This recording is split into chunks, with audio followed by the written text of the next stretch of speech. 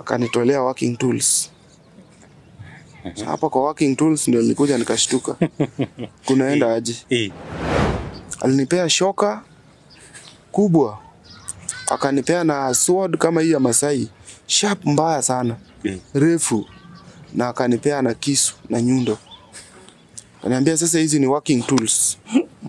Eh. Anzi sasa mi nashindwa ni kazi gani?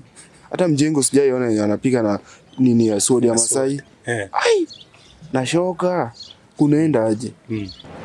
Anze job ilikuwa ni ya mochari. Mi sijaingia mochari.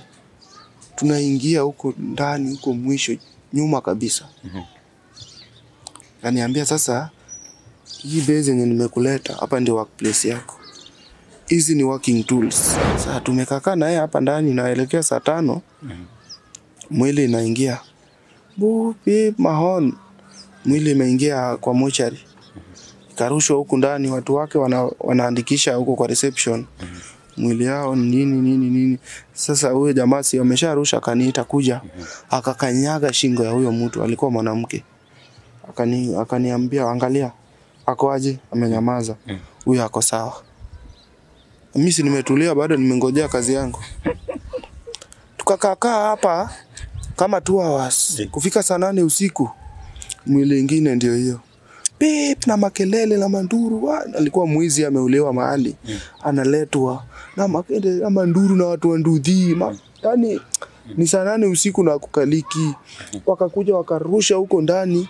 Sasa wanaandikisha hiyo mwili. Sasa jamaa naye akaniita. Sasa kama hizi ndo tunatakanga. Tunatakanga kwani tunajua mahali hiyo mwili imetoka? Huyu jamaa ananiambia ni kuja. Hukuja. Huyu jamaa kuwa amekufa vizuri bado kichwa ilikuwa inapiga kidogo hivi. Akaniita akaniuliza, we hii ni nini? Kwambia sinaona ni kama bado ana nini, ana blink kidogo, anacheza cheza kidogo. Hmm.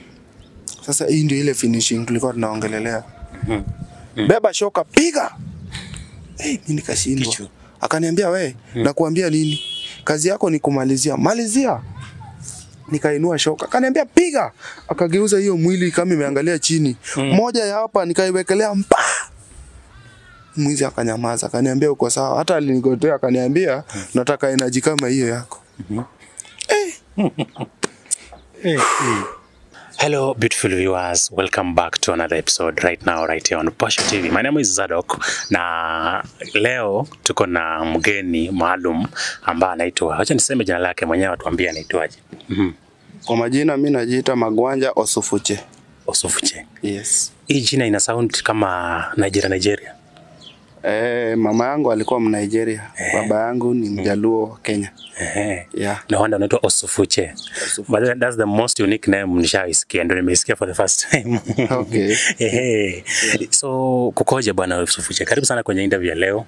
Asanti sana Mm -hmm. na nimewakaribisha sana. Mm -hmm. Yeah. Yeah, nimetembea all the way from uh, Viga, nimefika hapa Mwiki bana kukutafuta. Mwiki umeona aje? Mwiki ni kuzuri. Eh, kumeanza kujengwa bwana, naona kume, kumeendelea. Weather inakaa kama mwenye ako UN. Eh, weather bwana, yani